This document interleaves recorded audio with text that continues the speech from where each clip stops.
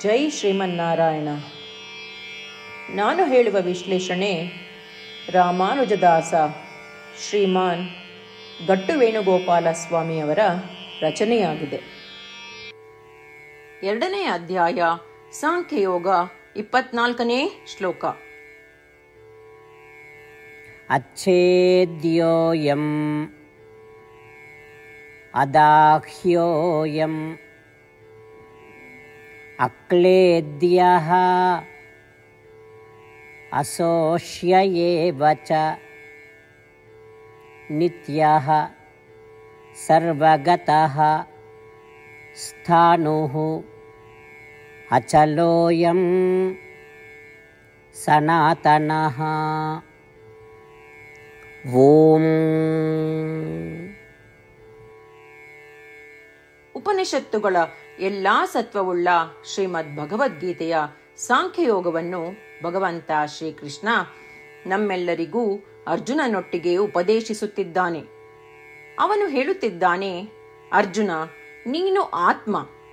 ನಾನು ನಿನ್ನ ಬಗ್ಗೆ ಮೊದಲೇ ಹೇಳಿದ ಹಾಗೆ ಯಾವ ಶಸ್ತ್ರವೂ ನಿನ್ನನ್ನು ಘಾಸಿಗೊಳಿಸುವುದಿಲ್ಲ. ಅಗ್ನಿಯು ನಿನ್ನನ್ನು ದಹಿಸಲ ಸಾಧ್ಯ. ಜಲ ನಿನ್ನನ್ನು ತೇವ ಮಾಡಲ ಸಾಧ್ಯ. ಮತ್ತು ವಾಯುವು ನಿನ್ನನ್ನು ಒಣಗಿಸಲ ಸಾಧ್ಯ. ಇವೆಲ್ಲವೂ ನಿನ್ನ ಮೇಲೆ ಬಲ ಪ್ರಯೋಗಿಸಲು ಅಥವಾ ಪ್ರಭಾವ ಬೀರಲು ಅಶಕ್ತವಾಗಿವೆ. ಈಗ ನಾನು ನಿನ್ನ ಬಗ್ಗೆ ಹೇಳುವೆ. ಹಿಂದೆ ಪಟ್ಟಿ ಮಾಡಿದ ಉದಾಹರಣೆಗಳು ಅಥವಾ ಪ್ರಪಂಚದ ಯಾವುದೇ ನಶಿಸುವ ವಸ್ತುವಿನಿಂದ ನಾಶವಾಗುವ ಅರ್ಹತೆ ಅಥವಾ ಸಾಮರ್ಥ್ಯ ನಿನಗಿಲ್ಲವೆಂದು ಹೇಳಲಿರುವೆ. ಯಾವುದೇ ವಸ್ತುವಿನಿಂದ ಪ್ರಭಾವಿತನಾಗುವ ಸ್ವಭಾವ ಅಥವಾ ಕಾಣಿಸಿಕೊಳ್ಳುವುದು ನಿನಗಿಲ್ಲವೆಂದು ನಾನು ನಿನಗೆ ಹೇಳಲಿರುವೆ. ಇದೇ ಭಗವಂತ ಶ್ರೀಕೃಷ್ಣ ಆತ್ಮದ ಸ್ವಭಾವದ ಬಗ್ಗೆ ಹೇಳುತ್ತಿದ್ದಾನೆ. ಅವನು ಹೇಳುತ್ತಿದ್ದಾನೆ, ಅರ್ಜುನ, ಆತ್ಮ ನಾಶವಾಗಲು, ಆತ್ಮ ದಹಿಸಲು, ಆತ್ಮ ಜಲದಿಂದ ತೇವವಾಗಲು ಅಥವಾ ಆತ್ಮ ಶುಷ್ಕವಾಗಲು ಸಾಧ್ಯವಿಲ್ಲ. ಏಕೆ? ಕಾರಣ ಆತ್ಮ ಶಾಶ್ವತ. ಯಾವುದೇ ದೊರಕಿರುವ ಸಮಯದಲ್ಲಿ, ಭೂತ, ವರ್ತಮಾನ, ಭವಿಷ್ಯದಲ್ಲಿ ಆತ್ಮದ ಅಸ್ತಿತ್ವವಿದೆ. ಆದ್ದರಿಂದ ಇದು ಶಾಶ್ವತ. ಆತ್ಮದ ಸ್ವಭಾವ ಶಾಶ್ವತವಾದ್ದರಿಂದ ಇದು ಯಾವುದೇ ವಸ್ತುವಿನ ಪ್ರಭಾವಕ್ಕೆ ಒಳಗಾಗುವುದು ಶಕ್ಯವಿಲ್ಲ. ಪ್ರಪಂಚದಲ್ಲಿ ಆತ್ಮವು ಅತ್ಯಂತ ಸೂಕ್ಷ್ಮವಾದುದರಿಂದ ಎಲ್ಲದರಲ್ಲೂ, ಎಲ್ಲೆಲ್ಲಿಯೂ ವ್ಯಾಪಿಸಲು ಶಕ್ಯವಾಗಿದೆ. ಇದರ ಸ್ವಭಾವವೇ ಈ ರೀತಿ ಇರುವುದರಿಂದ ಇದು ಬೇರಾವುದರಿಂದಲೂ ಪ್ರಭಾವಿತಗೊಳ್ಳುವುದಿಲ್ಲ. ಆತ್ಮದ ತೋರಿಕೆಗೆ ಎಂದಿಗೂ ಬೇರಾವುದು ಬದಲಾವಣೆಗಳಾಗುವುದಿಲ್ಲ. ಎಲ್ಲ ಸಮಯದಲ್ಲೂ ಆತ್ಮದ ತೋರಿಕೆ ನಿರಂತರವಾಗಿ ಒಂದೇ ರೀತಿಯಾಗಿರುತ್ತದೆ. ಈ ಸ್ವಭಾವವನ್ನು ಸ್ಥಾನುಹು ಎಂದು ಕರೆಯುತ್ತಾರೆ. ಈ ಸ್ಥಾನುಹು ಸ್ವಭಾವದ ಆತ್ಮ ಯಾವುದೇ ವಸ್ತುವಿನಿಂದ ಪ್ರಭಾವಿತಗೊಳ್ಳಲು ಅಶಕ್ಯವಾಗಿದೆ. ಆತ್ಮದ ಸ್ವಭಾವ ಅಚಲಹ. ಇದರ ಅರ್ಥ ನಿರ್ವಿಕಾರ. ಈ ಸ್ವಭಾವದಿಂದ ಆತ್ಮ ಯಾವುದೇ ವಸ್ತುವಿನ ಪರಿಣಾಮಕ್ಕೊಳಗಾಗುವುದಿಲ್ಲ. ಆತ್ಮವು ಯಾವುದೋ ಜನಿಸಿ ಮತ್ತು ಒಂದು ದಿನ ನಶಿಸುವುದಿಲ್ಲವಾದ್ದರಿಂದ ಆತ್ಮವು ಯಾವಾಗಲೂ ಶಾಶ್ವತ, ನವೀನವಾದ್ದರಿಂದ ಆತ್ಮವನ್ನು ಸನಾತನಃ ಎಂದು ಕರೆಯುತ್ತಾರೆ. ಈ ಸನಾತನ ಸ್ವಭಾವವುಳ್ಳ ಆತ್ಮ ಯಾವುದೇ ವಸ್ತುವಿನ ಪರಿಣಾಮಕ್ಕೊಳಗಾಗುವುದು ಶಕ್ಯವಿಲ್ಲ. ಇದನ್ನೇ ಭಗವಂತ ಶ್ರೀಕೃಷ್ಣ ನಮ್ಮೆಲ್ಲರಿಗೂ ಆತ್ಮದ ಸ್ವಭಾವವನ್ನು ಉಪದೇಶಿಸುತ್ತಿದ್ದಾನೆ. ಮತ್ತು ಪ್ರಪಂಚದ ಯಾವುದೇ ವಸ್ತುವಿನ ಪರಿಣಾಮಕ್ಕೆ ಆತ್ಮಗಳು ಒಳಗಾಗುವುದಿಲ್ಲ ಎಂದು ಘೋಷಿಸುತ್ತಿದ್ದಾನೆ. ಈ ಶ್ಲೋಕದ ಮುಖಾಂತರ ಸಂದೇಶ ಮತ್ತು ನೀತಿ ನಾವು ತಿಳಿದು ಅಭ್ಯಸಿಸಬೇಕಾಗಿರುವುದು ವಿಶಿಷ್ಟವಾಗಿ ಪ್ರಪಂಚದಲ್ಲಿರುವ ಅನೇಕ ವಿಷಯಗಳು, ಅಂದರೆ ಜನರು ಅಥವಾ ಸಂದರ್ಭಗಳು ನಮ್ಮ ಮೇಲೆ ಪರಿಣಾಮ ಬೀರುತ್ತವೆ. ಈ ರೀತಿ ಆದಾಗ ಆತ್ಮದ ಸ್ವಭಾವದ ಬಗ್ಗೆ ಮತ್ತು ಹೇಗೆ ಇದು ಯಾವುದರಿಂದಲೂ ಪರಿಣಾಮಕ್ಕೊಳಗಾಗುವುದಿಲ್ಲವೆಂದು ಶ್ರೀಕೃಷ್ಣ ಪರಮಾತ್ಮ ಉಪದೇಶಿಸಿದನೋ ಅದನ್ನು ನಾವೆಲ್ಲರೂ ಮತ್ತೆ ಮತ್ತೆ ಜ್ಞಾಪಿಸಿಕೊಳ್ಳೋಣ. ಇದು ನಮ್ಮ ಸ್ವಭಾವ. ನಾವೆಲ್ಲರೂ ಈ ವಾಸ್ತವದ ಮೇಲೆ ನಿತ್ಯವೂ ಧ್ಯಾನಿಸೋಣ ಮತ್ತು ಇದೇ ಆತ್ಮಧ್ಯಾನವಾಗಿ ಮಾರ್ಪಾಡಾಗುತ್ತದೆ. ಗೀತೆಯ ಸತ್ವ ಮತ್ತು ಎಂಟು ಭಾಷೆಗಳು. ಶ್ರೀಕೃಷ್ಣ ಪರಮಾತ್ಮ ಉಪದೇಶಿಸಿರುವ ಶ್ರೀಮದ್ ಭಗವದ್ಗೀತೆಯ ಪೂರ್ಣಸತ್ವ. ಅಧ್ಯಾಯ ಹದಿನೆಂಟು, ಅರವತ್ತೈದರಿಂದ ಎಪ್ಪತ್ತು ಶ್ಲೋಕಗಳಲ್ಲಿ ಎಂಟು ಕಾರ್ಯಗಳನ್ನು ಮಾಡಬೇಕಾಗಿದೆ. ಶ್ರೀಕೃಷ್ಣ ಹೇಳುತ್ತಾನೆ, ಈ ಎಂಟು ಕಾರ್ಯಗಳನ್ನು ಯಾರು ಅನುಸರಿಸುತ್ತಾರೋ ಅವರನ್ನು ನಾನು ಪ್ರೀತಿಸುತ್ತೇನೆ. ನಾನು ಆ ಭಕ್ತರನ್ನು ಎಲ್ಲ ವಿಧದ ಮಾರ್ಗಗಳಲ್ಲೂ ಸಂರಕ್ಷಿಸುತ್ತೇನೆ. ಶ್ರೀಕೃಷ್ಣ ಪರಮಾತ್ಮ ಉಪದೇಶಿಸಿದ ಭಗವದ್ಗೀತೆಯನ್ನು ಪೂರ್ಣ ಕೇಳಿಸಿಕೊಂಡ ನಂತರ ಅರ್ಜುನ ಹೇಳುತ್ತಾನೆ, ಕರಿಷ್ಯೆ ವಚನಂ ತವ.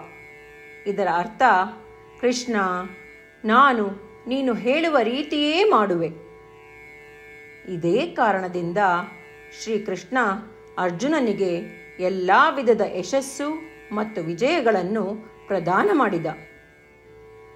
ನಾವು ಈ ಎಂಟು ಕರ್ಮಗಳನ್ನು ಮಾಡುತ್ತೇವೆ ಎಂದು ಪರಮಾತ್ಮನಿಗೆ ನಮ್ಮ ಪ್ರತಿಜ್ಞೆಯನ್ನು ಮಾಡೋಣ. ಶ್ರೀಕೃಷ್ಣ ಪರಮಾತ್ಮನಿಗೆ ವಚನ ಕೊಡುವುದಕ್ಕಿಂತ ಯಾವ ಪೂಜೆ, ತಪಸ್ಸು ಅಥವಾ ಯಜ್ಞ ದೊಡ್ಡದಿಲ್ಲ. ನಾವು ಮಾಡಬೇಕಾಗಿರುವ ಈ ಎಂಟು ಪ್ರತಿಜ್ಞೆಗಳನ್ನು ನಾನು ಹೇಳುವೆ. ನೀವೆಲ್ಲರೂ ದಯವಿಟ್ಟು ಮನಸ್ಸು ಮತ್ತು ಹೃದಯದಿಂದ ಯೋಚಿಸಿ.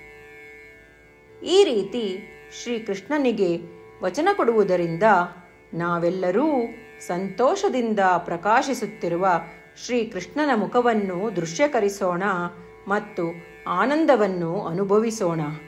ಜೈ ಶ್ರೀಮನ್ನಾರಾಯಣ. ಇವುಗಳೇ ನಮ್ಮ ಎಂಟು ಪ್ರತಿಜ್ಞೆಗಳು. ನಮ್ಮ ಮೊದಲನೇ ಪ್ರತಿಜ್ಞೆ, ಹೇ ಶ್ರೀಮನ್ನಾರಾಯಣ, ನೀನು ಸೂಚಿಸಿರುವ ಹಾಗೆ ನಾನು ಸದಾ ನಿನ್ನ ಧ್ಯಾನ ಮತ್ತು ಚಿಂತನೆ ಮಾಡುವೆ. ನಮ್ಮ ಎರಡನೇ ಪ್ರತಿಜ್ಞೆ, ಹೇ ಶ್ರೀಮನ್ನಾರಾಯಣ, ನೀನು ಸಲಹೆ ನೀಡಿರುವ ಹಾಗೆ ನಾನು ಸದಾ ನಿನ್ನ ಭಕ್ತನಾಗಿರುವೆ.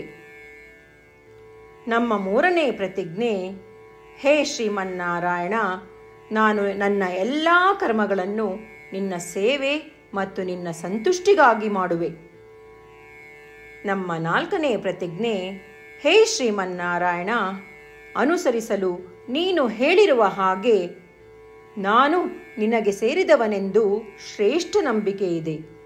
ಮತ್ತು ನಾನು ಸದಾ ಎರಡು ಕೈಗಳನ್ನು ಜೋಡಿಸಿ ನಿನಗೆ ನಮಸ್ಕಾರ ಮಾಡುತ್ತೇನೆ ಮತ್ತು ನಿನ್ನನ್ನು ಪೂಜಿಸುತ್ತೇನೆ.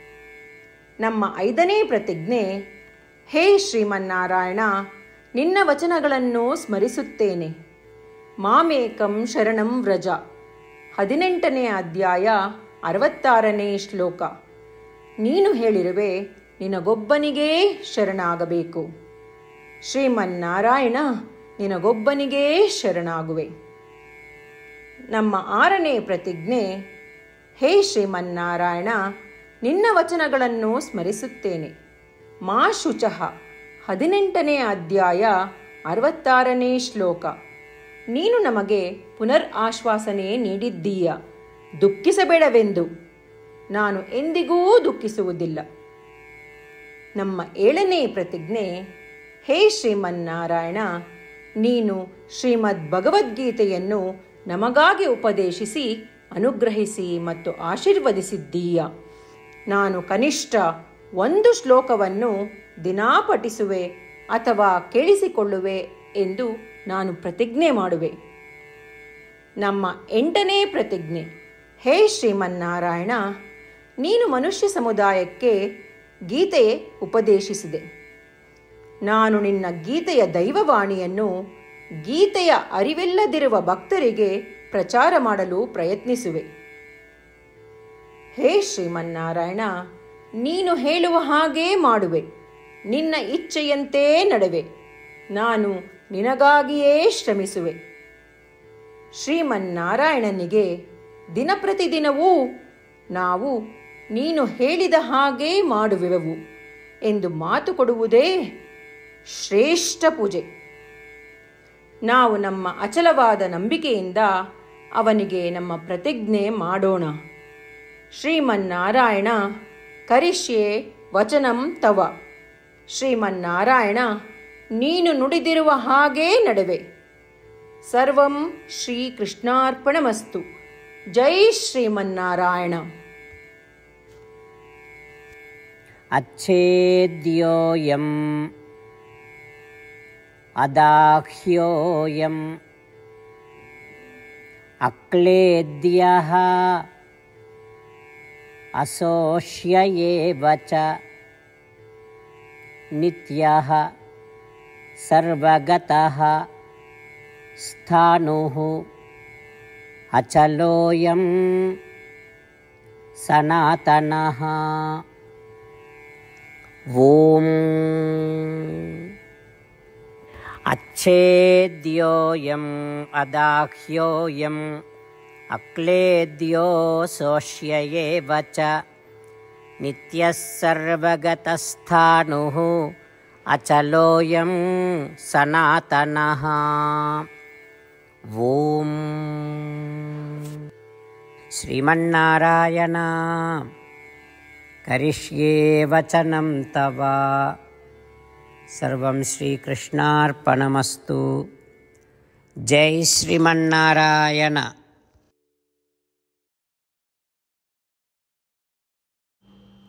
जय श्रीमन्नारायण ಎಲ್ಲ ಭಕ್ತಾದಿಗಳಿಗೆ ವಿಶೇಷ ವಿನಂತಿ. ನಮ್ಮ ಜೀವನದ ಎಲ್ಲ ವಿಷಯಗಳಲ್ಲಿ ನಮಗೆ ಶೀಘ್ರ ಮತ್ತು ಪರಿಣಾಮಕಾರಿ ಫಲಿತಾಂಶಗಳ ಅಪೇಕ್ಷೆ ಇರುತ್ತದೆ. ಇದನ್ನು ಸಾಧಿಸಲು ನಾವು ದಿನಪ್ರತಿದಿನವೂ ಒಂದು ನಿಮಿಷವನ್ನು ನಾರಾಯಣ ಅಸ್ತ್ರಂ ಓದುವುದರಲ್ಲಿ ಕಳೆಯೋಣ. ನಾರಾಯಣ ಅಸ್ತ್ರಂ ದೊರೆಯಲು ನಾರಾಯಣ ಅಸ್ತ್ರಂ ವೆಬ್ಸೈಟ್ಗೆ ಹೋಗಿ. W W dot Narayana Astram dot O R G ನಿಮ್ಮ ಹೆಸರು ಮತ್ತು ಇಮೇಲ್ಗಳನ್ನು ಪಂಜೀಕರಿಸಿ. ನೀವು ಪಂಜೀಕರಿಸಿರುವ ಇಮೇಲ್ ವಿಳಾಸಕ್ಕೆ Narayana Astram P D F ರೂಪದಲ್ಲಿ ದೊರೆಯುತ್ತದೆ. ಈ ಪಿ ಡಿ ಎಫ್ನಲ್ಲಿ ಒಂದು ರಾಮಾಯಣ ಶ್ಲೋಕ, ಒಂದು ಗೀತಾ ಶ್ಲೋಕ ಮತ್ತು ವಿಷ್ಣುನಾಮ ಇರುತ್ತದೆ. ಈ ಮೂರು ಮಿಶ್ರಣವೇ ನಾರಾಯಣ ಅಸ್ತ್ರಂ ಪ್ರತಿಯೊಬ್ಬರೂ ಈ ಶ್ಲೋಕಗಳ ವಿಭಿನ್ನ ಸಂಯೋಜನೆ ಪಡೆಯುತ್ತಾರೆ.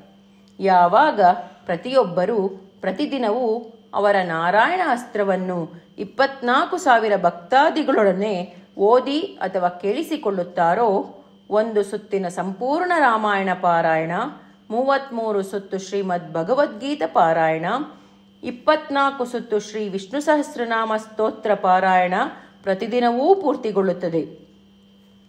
ದಿನಪ್ರತಿದಿನವೂ ಈ ರೀತಿ ಮಾಡುವುದರಿಂದ ಗಮನಾರ್ಹ ಮತ್ತು ಅಸಾಧಾರಣ ಫಲಿತಾಂಶ ಹೊರಬರುತ್ತದೆ.